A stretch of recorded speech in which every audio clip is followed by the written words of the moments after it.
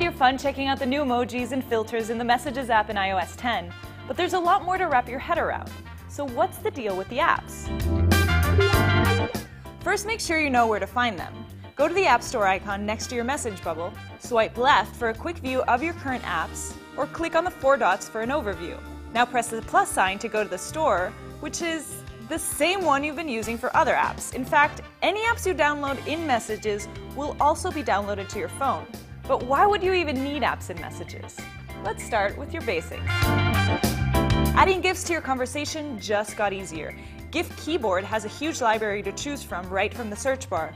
And if you can't find what you're looking for, you can create one right there on the Message app. Or if stickers are more your jam, try the free Mario Go Pack. Click to send the individual stickers or press and hold to drag a sticker onto a photo you've already sent for a Super Mario makeover. And it's not just limited to photos and text. Spice up your voice memos with Chatterbird.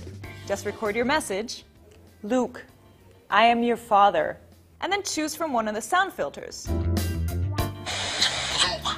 I am your father. Or just send a sound effect. You can waste the day away sending sound effects and GIFs, but you can also do practical things in messages. If it's a date night you're planning, OpenTable and Fandango have you covered. Pick a restaurant category, narrow down a time at the top to see a list of options, select the ones you want, and send it to your date to make the final call. You can reserve right from this window. Same thing goes for movies. Click on the title, choose a time and location, purchase your tickets, and share everything with one tap.